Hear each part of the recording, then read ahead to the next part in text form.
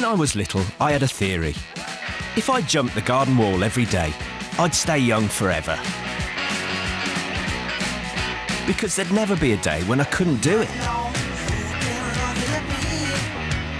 I'd be 80, still leaping the wall.